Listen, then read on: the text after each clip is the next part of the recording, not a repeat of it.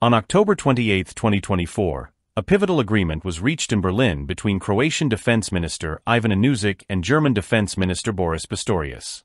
They signed a letter of intent confirming Croatia's plan to transfer its M84 tanks and M80 infantry fighting vehicles to the Ukrainian armed forces.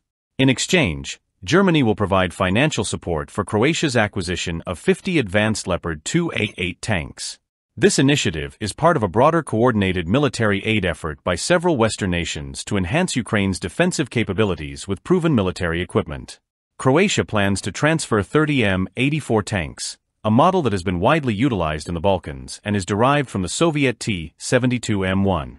Produced under license in Yugoslavia, the M84 has undergone significant upgrades since the early 2000s, now reflecting the M84A4 sniper standard.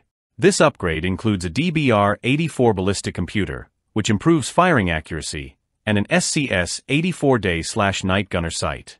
While the tanks are powered by a robust 1,000 horsepower V46 TK diesel engine, providing good mobility, their armor lacks advanced dynamic protection, making them vulnerable to modern anti-tank weapons compared to newer models like the Leopard 2A8. The transfer also encompasses 30M, 80 infantry fighting vehicles. Although they share a resemblance to the Soviet BMP-1 and BMP-2, the M80 is a unique Yugoslav design equipped with a 20mm HS.804 automatic cannon.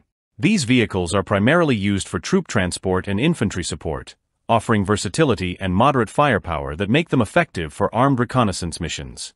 Despite their age, the M80s are well maintained and remain reliable for battlefield operations.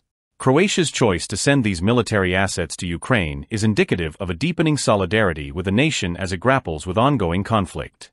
By transferring equipment that it can temporarily spare, Croatia not only strengthens Ukraine's military position, but also paves the way for the renewal of its own military capabilities with German assistance.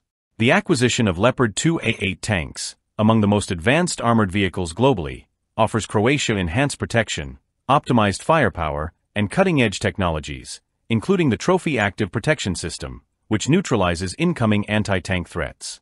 For Ukraine, receiving the M84 and M80 vehicles provides a significant material boost.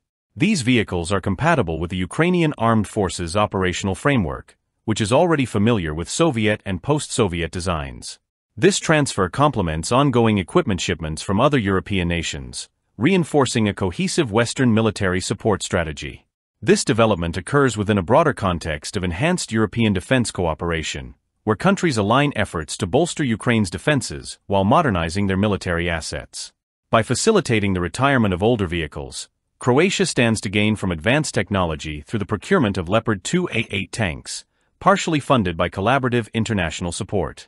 Although specific timelines for delivery and financial arrangements are yet to be finalized, Croatia's intentions are clear to play a significant role in Ukraine's defense while upgrading its own military capabilities. By transferring its M84 and M80 vehicles, Croatia is not merely offering symbolic support, it is engaging directly in Ukraine's defense efforts, with tangible implications for the battlefield. As European nations continue to forge stronger defense ties, this model of mutual support and military modernization may serve as a blueprint for future collaborations aimed at enhancing both national and regional security.